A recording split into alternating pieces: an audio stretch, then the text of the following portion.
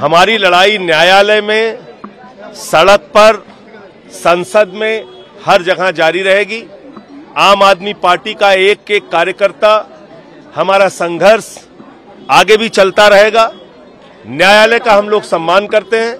न्यायालय का जो फैसला आया है, उसके बारे में जो वकील साहिबान है वो बताएँगे, लेकिन ये मैं ज़रूर कहूँगा कि नरेंद्र मोदी सरकार की तानाशाही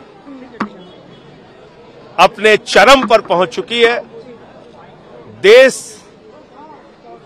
और दिल्ली के दो सबसे योग्य और अच्छे मंत्री, अरविंद केजरीवाल जी की सरकार के दो सबसे योग्य मंत्री, जिन्होंने शिक्षा और स्वास्थ्य में अनुकरणीय काम करके दिखाया। आज उनको मोदी जी ने गिरफ़्तार किया है। जो मनीष सिसोदिया लाखों बच्चों को अच्छी शिक्षा दे रहे हैं, उनको जेल में डाल दिया। जो अडानी लाखों करोड़ का घोटाला कर रहा है, उसके जहाज़ में मोदी जी घूमते हैं। तो ये फ़र्क इस देश के एक एक नागरिक को समझ में आ रहा है। आम आदमी पार्टी के एक एक कार्यकर्ता को समझ में आ रहा है।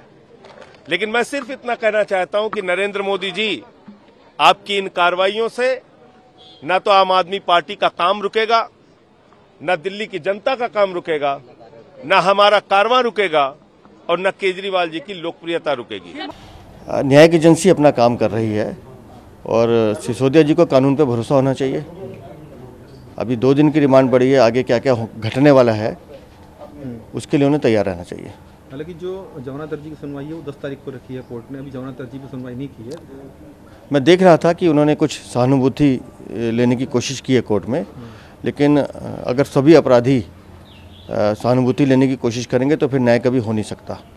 उन्हें तथ्यों पर रहना चाहिए।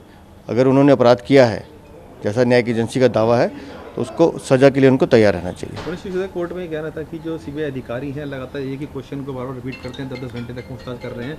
तो सवाल भी खड़े कर रहे हैं कि जो जाँच जिस तरह जाँच चल रही है वो एक दिशाहीन जाँच है। जाँच अपनी प्रक्रिया के अनुसार होती है। वो अपराधी के अनुसार नहीं होती है।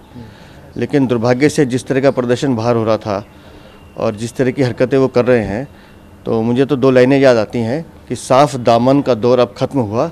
ये आप वाले धब्बों पे गरूर करते हैं।